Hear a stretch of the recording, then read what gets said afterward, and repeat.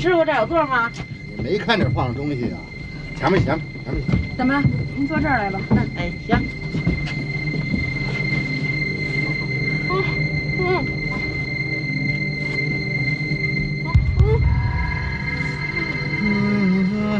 嗯。嗯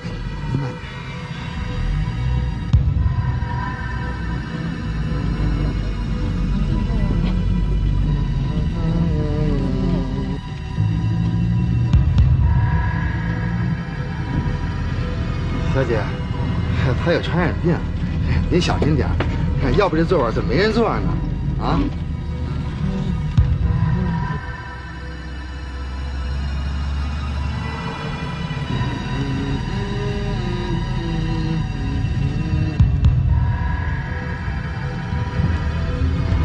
小姐，他真的有病，要么您换个地方坐，行吗？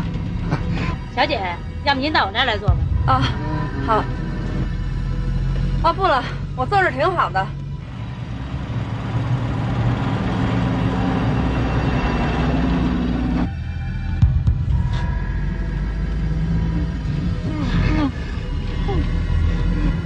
小姐，真的有病。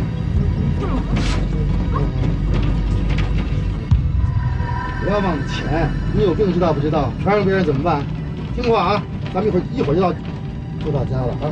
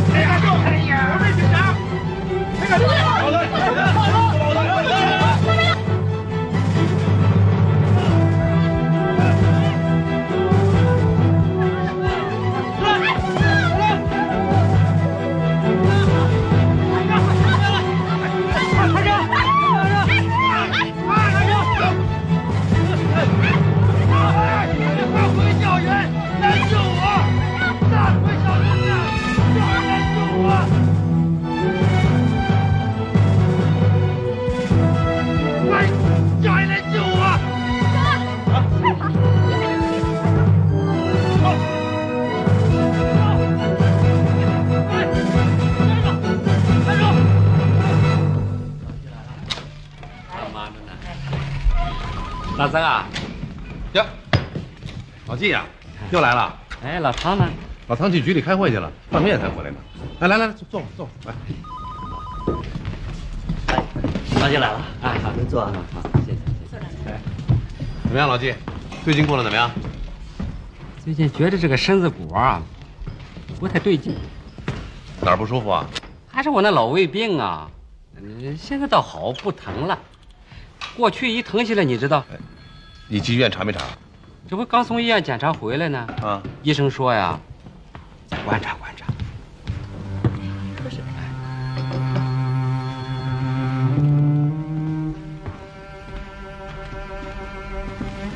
啊，兰子他们快回来了吧？估计快。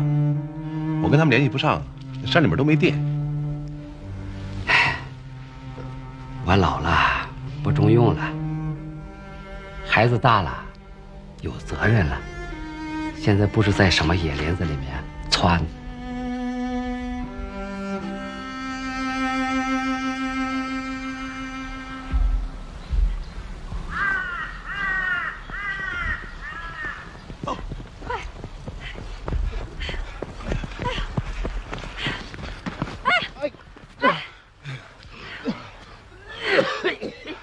这会儿他们不会追来了吧？歇会儿吧，不行了。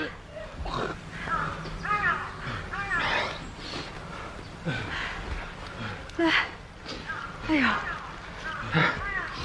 把它铐起来。哎，往哪儿跑？站住！哪儿跑？哎呀，救命啊！救命啊！还踢我！哎呀，我跟你说，你再不老实，我他妈收拾你！我犯什么法了啊？我犯什么法了？我跟你说，这是警察，我犯啥法？呃我就是警察，我就不打你了。你不说我能知道吗？走哎呀，哎呀，疼死我了！走，走，哎呀，哎呀，哎呀，疼死我了！哎呀，我冤枉，跟你说，我也没招你们，没惹你们。走哎呀，哎呀，哎呀，哎呀，哎呀，站着！哎呀，哎呀，哎呀，行了，你有完没完？你真以为我们抓你是因为你打我们？拐卖妇女可是要犯坐牢的罪，知道吗？拐卖妇女，我没拐卖，我们将钱买货，我们花钱的，签字画押，哼，我我有字据。你看，这不是我，嘿，正好，这人就是小李子村的。那正好啊。自己给我，自己给我，我媳妇跑了怎么办？老实点哎呀哎呀哎呀哎呀哎呀！张万，你看看你，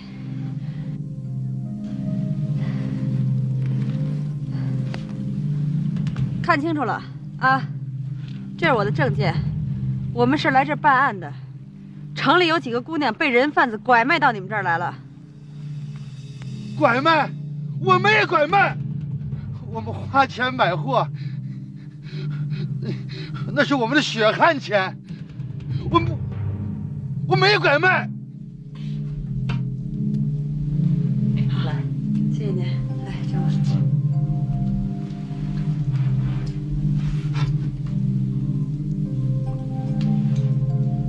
哎，姑娘，这碗是给你的，哎，谢谢您。还有吗？再给他盛一碗。我不给坏人吃。大娘，坏人也是人，您总不能看着他饿着吧？我只有两个碗，哎，我没动过，吃吧。拿着。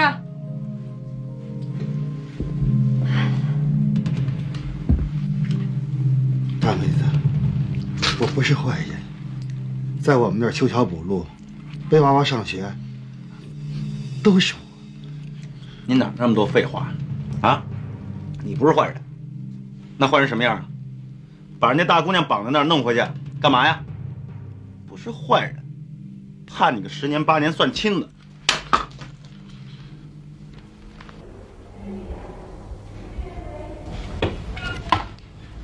这是急诊里的病历。今天初步观察，不太乐观。幽门处可能会有个瘤子，会发展成癌吗？很难说，先住院观察。有情况马上通知我吧。他女儿既然不在，一时半会儿回不来。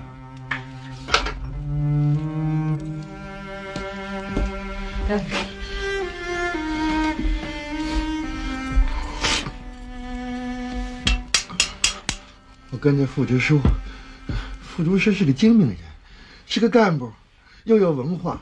我跟着他，能犯错误吗？我们将钱买货，张望，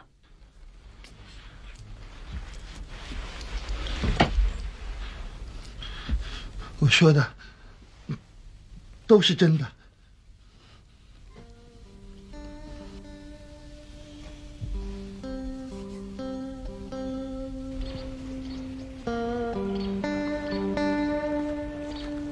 我听着啊！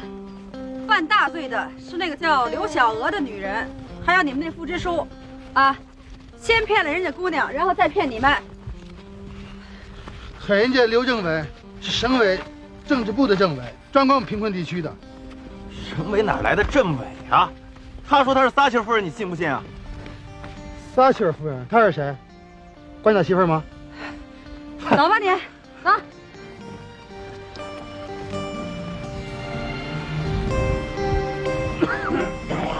你要把铐解开。老实点啊不许好。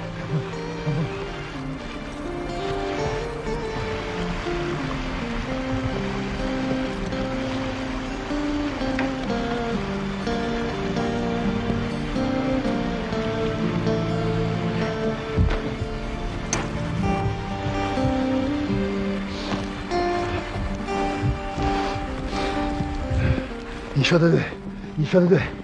我们村啊，就我们副支书家有个大彩电，他先富起来的。是，他哪来的钱啊？他是能人呗。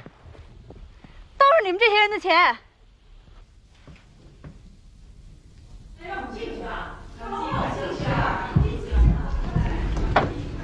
大总，让那几个女人进来听听吧，他们吵成一锅粥了。哎，进来吧。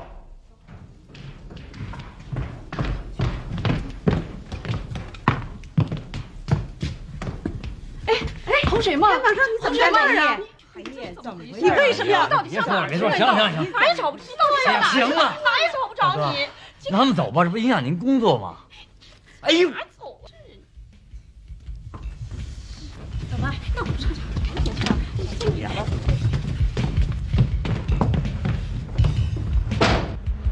听说那个人是个副支书。不不不，这人不是什么副支书，只是我知道招摇撞骗，自己封自己是个不知书，我们早就要抓他了。这样啊？嗯。张望，嗯，带过来。走。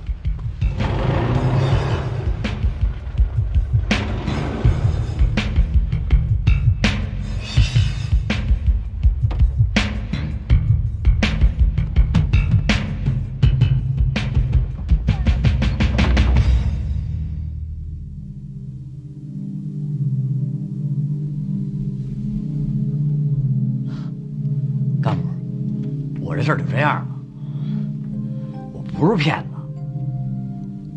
我是跟他们借点钱，到时候我还给他们，保证还。接着说。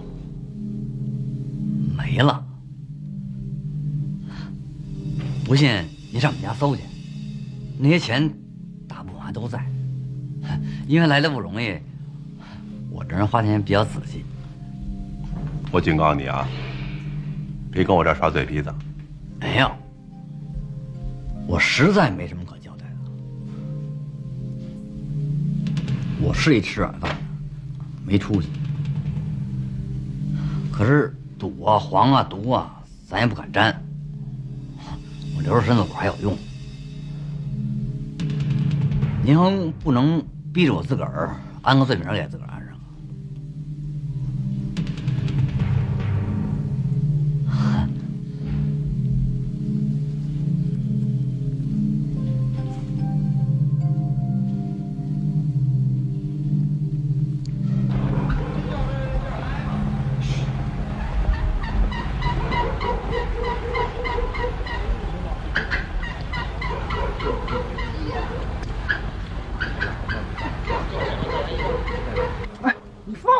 啊？我就是不放人，我是用血汗钱买的，就是从你这里买的，我这里面还有收据呢。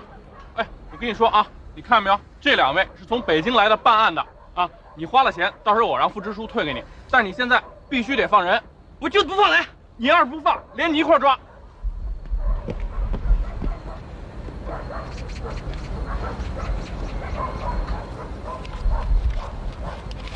来，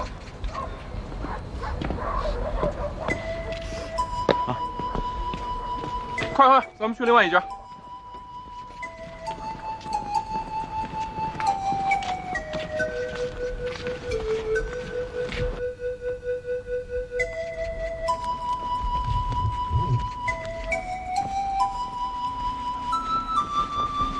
后面跟着。哎，那刘鑫怎么办？到底上哪去了？他心里还有事儿呢。哎呀，你们怎么不信呢？真没有高中生啊！接下来再说。嗯，走。跟上。我还去啊？走啊！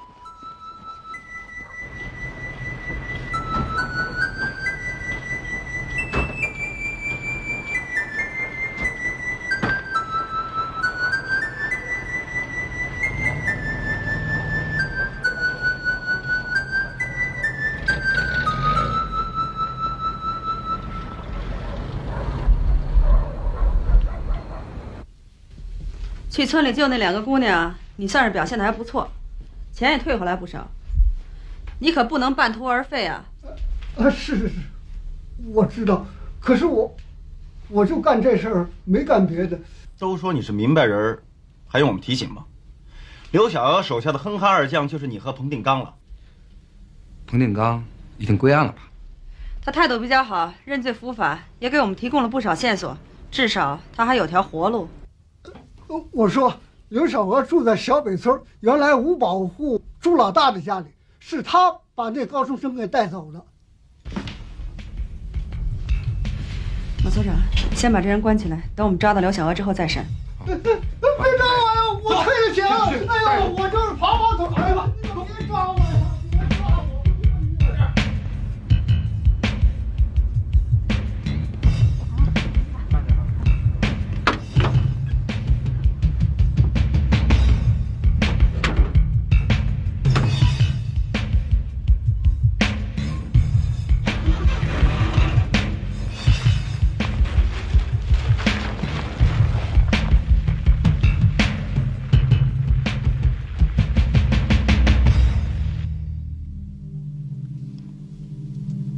全说完了。我刚才说话是牛了点儿，可是我真没什么好交代的了。您到底还让我交代什么呀？你小子别跟我耍滑头啊！来了三个女的，你就说骗了三个女的。要是一个没来呢，你就没事了。您知道，这人的精力是有限的，我确实没什么事儿。我求您赶快结束，把我关起来完了。我实在熬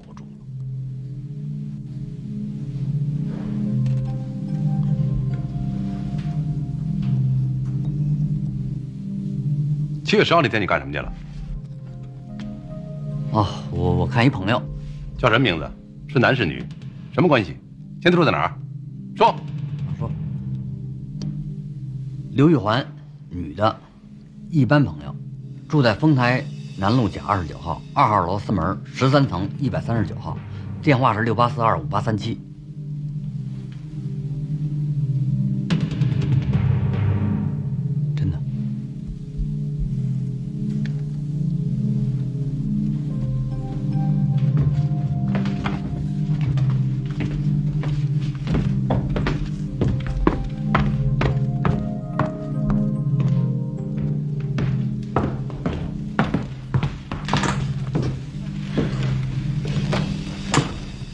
大曾，还得多长时间啊？我要回去了。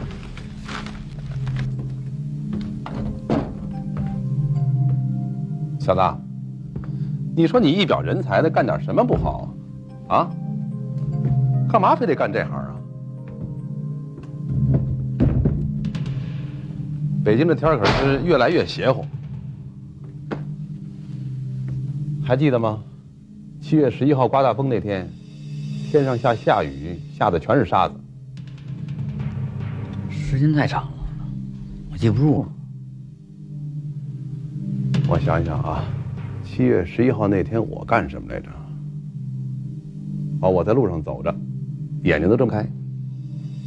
你记得吗？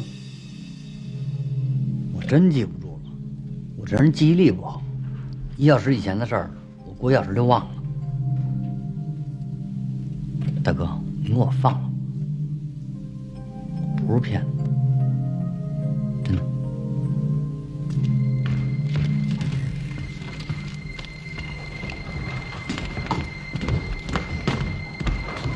喂，哎，我找一下刘玉环啊！啊，你就是啊！哎，我是公安局啊！啊，我找你了解一下情况啊。那个七月十号，你和陆小飞是在一起吗？哦，哦，是这情况。好，陆小飞，嗯，你甭管记不记得七月十一号那天北京有没有大风沙，你先交代七月十号那天你办的事儿吧。这么聪明的人还用我提醒吗？你知道女人吗？嗯，女人的占有欲要比男人强得多。所以对不起，刚才我给刘玉环打了个电话，她只说了一句话。您没说了。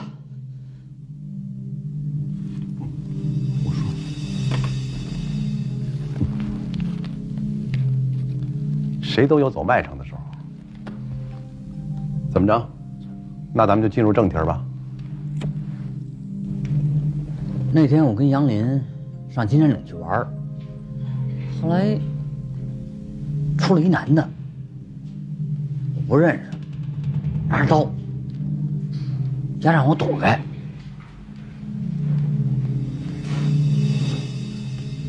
我能喝点水吗？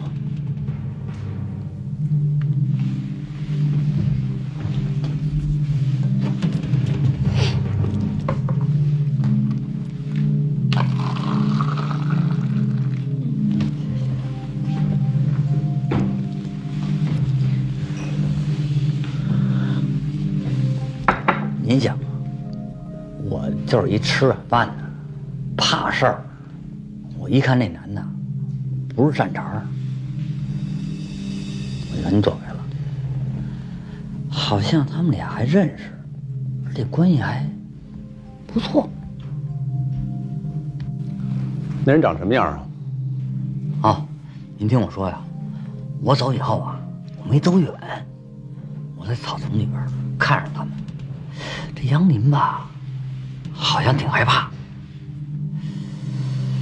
但那男的呢，又打他，杨林就生气了。后来呢，这男的又要亲他，他没让。他们俩后来又又打起来了。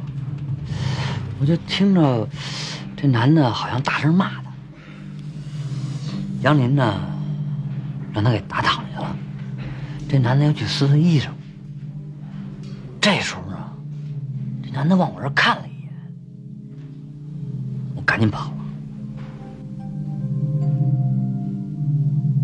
他们俩在扭打的时候，都说了些什么？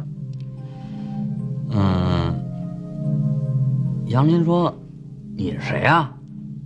你管得着我吗？这是我的自由啊。”就这些啊？还有，这男的说：“我是你老公啊，怎么管不着啊？”杨林说：“呸，你是谁老公啊？那你为什么不报案？这种事情说不清楚。他身上有我的指纹，我们俩不是那什么来着吗？我害怕。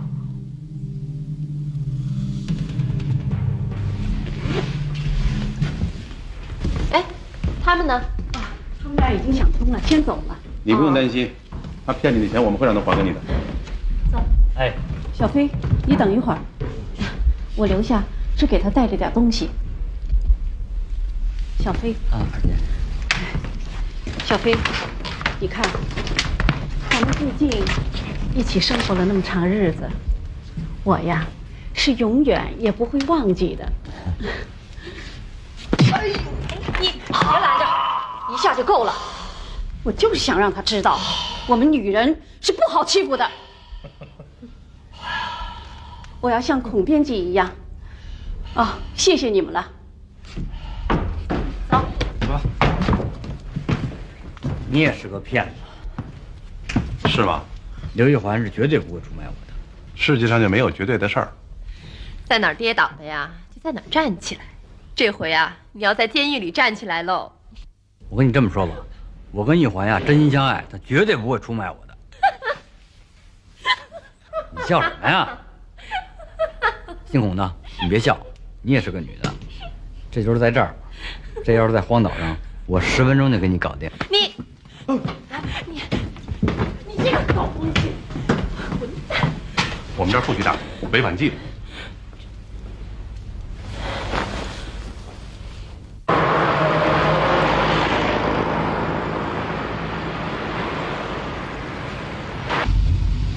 哎，大曾啊，你没跟刘玉环通电话呀？打也没用，刘玉环肯定向着他，至少不会马上出卖他。女人一旦爱上一个男人呢，什么都不吝。得了，少做总结吧。哎，你说，你怎么把人家陆小飞给骗了？杨林被害那天是七月十号，毫无疑问，陆小飞对自己七月十号干过什么特别清楚。可是后来我跟他聊天的时候，他对七月十一号的事情一点印象都没有，这就很明显。七月十号这天他有问题，早就编好了一套东西准备了应付。我突然发问，他来不及反应了，只好实话实说了，就这么简单。那杨林骂的那个人是谁呢？不知道，从零开始吧。那就白干了。这个案子到这儿就算完了，检验科结果也出来了，凶器上的指纹不是陆小飞的，线索全断了，一通瞎忙活。哎小姐，啊，大曾啊，你别告诉季兰，他会影响工作的。放心，你这是良性肿瘤，没事儿。我知道，不管怎么着吧，别告诉季兰啊，答应我。他冲锋陷阵的，知道我病了，他分心。老季，你放心，国华不会告诉的。你这手术啊，个把小时就出来了啊。来来来，走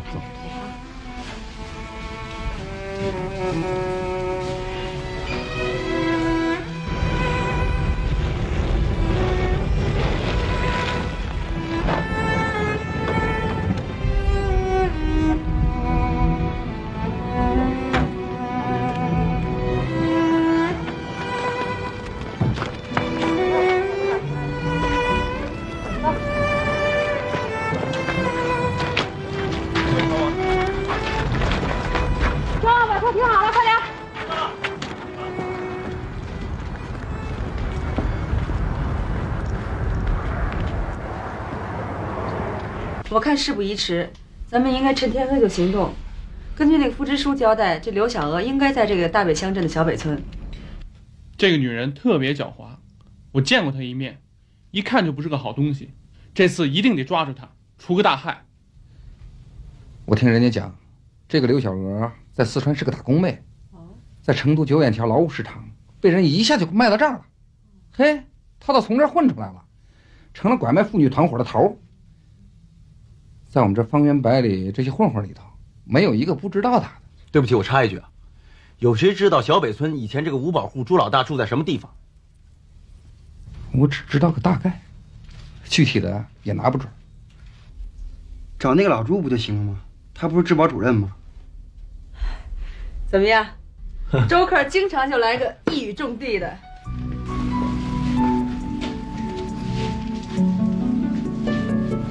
那大夫，怎么样？啊，手术很成功，你们放心吧。哎呦，我代表病人家属谢谢您。谢谢您啊。你们不是病人家属啊？啊，是是是。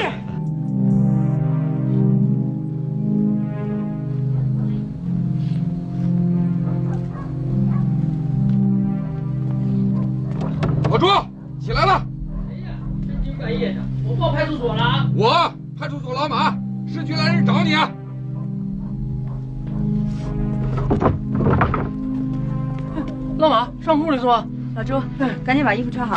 今天晚上我们要逮刘小娥，你给我们带个路。刘小娥不在村里头，朕就甭管了，赶紧把我们带到朱老大家。哎，哎好好，那我穿一下衣服。快点，快点，别别磨蹭了，我们就在这等你。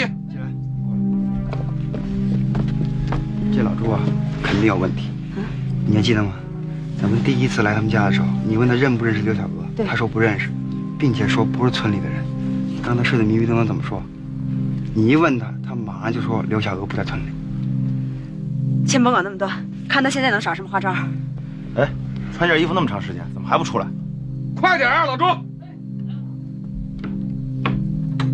快走！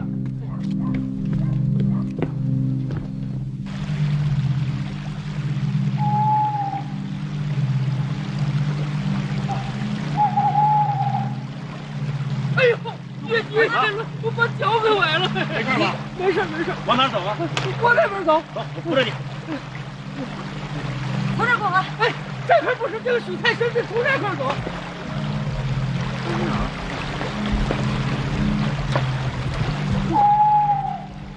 嗨，哎，等会儿，张万，前面有人。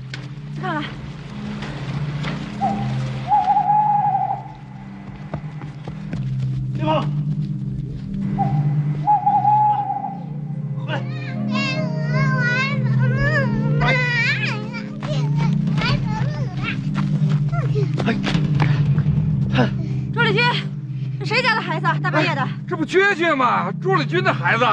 朱立军呢？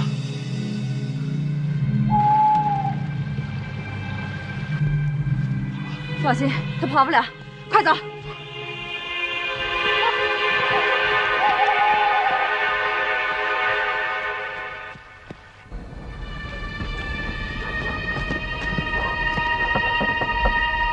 谁呀？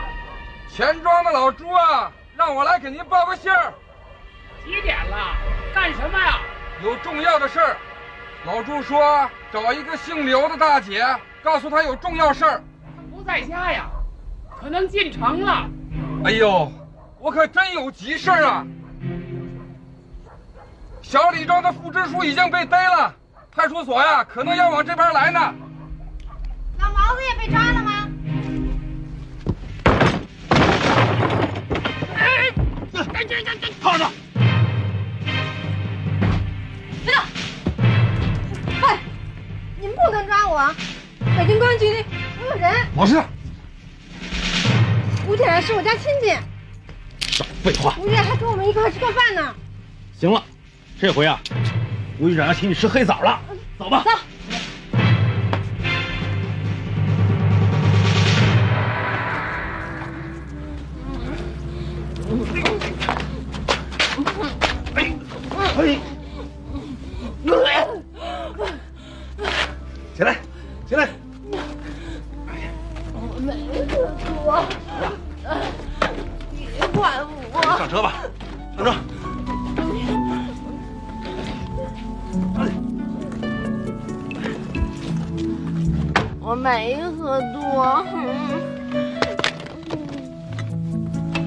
你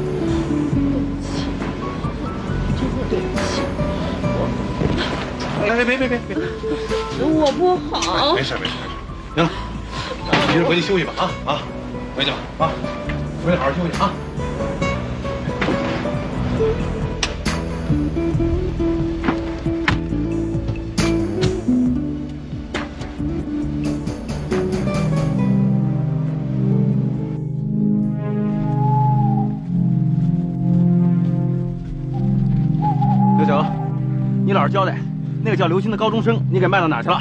你说那小姑娘，她现在可享福了，她跟了老朱的傻小子了。那朱丽君那边怎么办？老马，他跑不了。好，赵克，你跟马所长先把他们俩押回去。张望，咱们俩去趟朱丽君那儿。哎，哎，小王，你跟他们去。哎，好，走，走。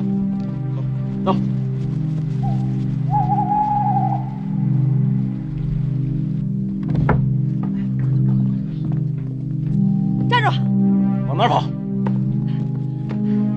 二位高抬贵手，我们把姑娘还给你们，还给你们呢。二位，就饶了我们这一回吧，我们就我们都是我们的儿子，一辈子娶不上媳妇儿，要绝后啊！这个姑娘我们一个手指头都没动，姑娘，快过来。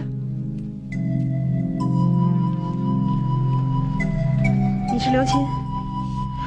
阿姨，阿姨，我不是在做梦孩子，别哭了，快跟我走啊！走，来，走。老朱，我们可怎么办呀？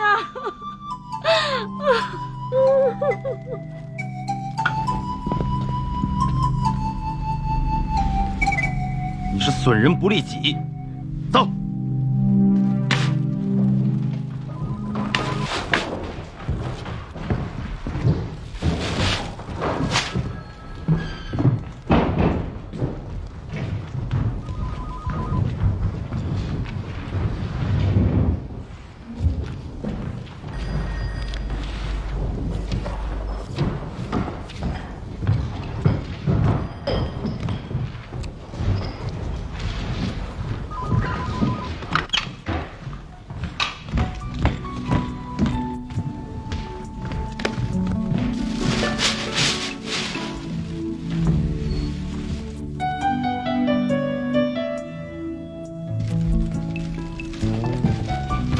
点一点，看看少不少什么东西。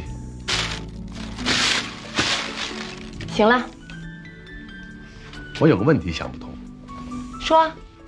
你有一个新的，一个旧的两个通讯录，为什么那旧的上面有我的名字，那新的上面反而没有呢？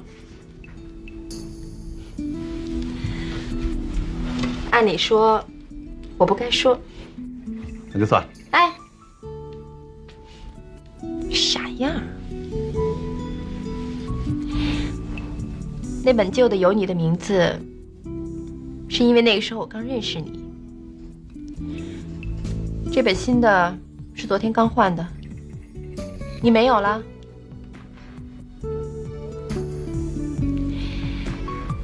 一个女人会用心把自己心目中男人最重要的东西都记录下来，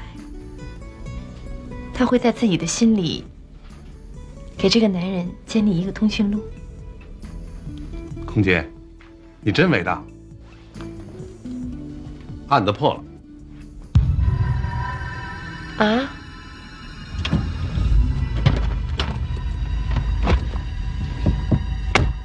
你有毛病啊！什么案子破了？那个快要跟杨林结婚的男人，按照你的说法，杨林是不会把他记在通讯录上的。如果把杨林的旧通讯录和他的新通讯录对照一下，那个男的就出来了。你心里就有这个破案子，没别的事儿。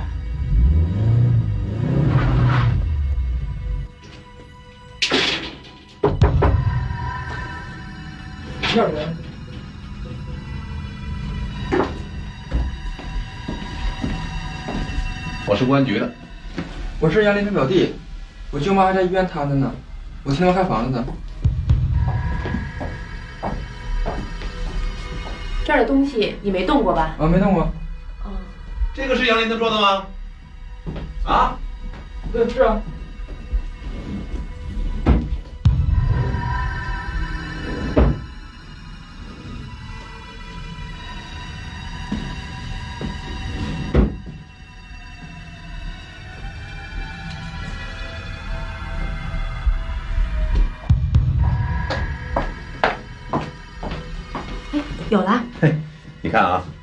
跟这个新通讯录一比，这上面明显多出仨人来，其中两个一看就是女的，另外一个男的叫黄醒飞。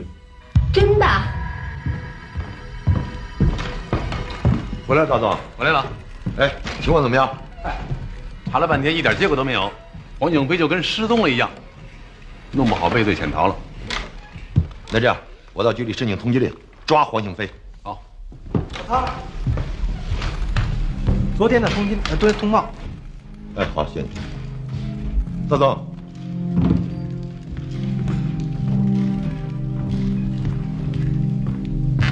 昨儿通报，金山岭发现死尸，黄醒飞自杀了，不大让人能理解啊。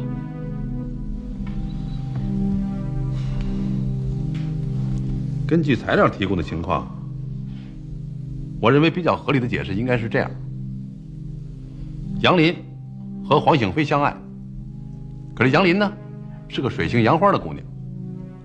自从认识了陆小飞，找不着北了，两个人约好了去金山岭，被黄醒飞当场捏住。黄醒飞盛怒之下把杨林给杀了，杀了以后自己觉得生活没劲，也许怕被咱们抓住。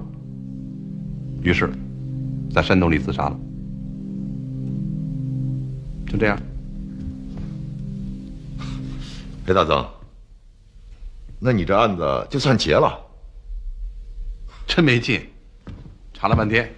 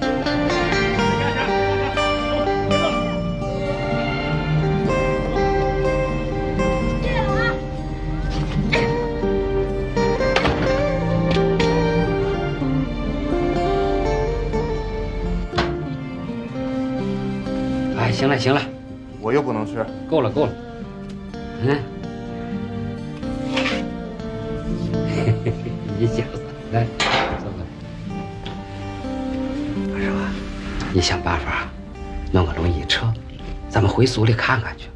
我都想篮子了，没问题，咱给他来个神不知鬼不觉。干这手啊，你可是专业的。你等着我。哎，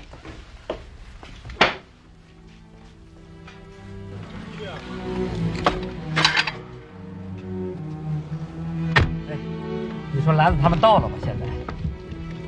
您都问多少遍了？我刚给局里打完电话，季兰正审着拐卖妇女那案子呢。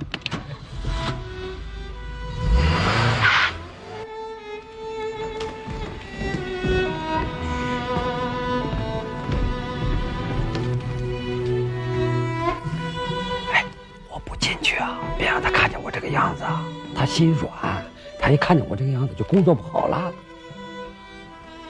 那我把门缝开大点，你从门缝里看他。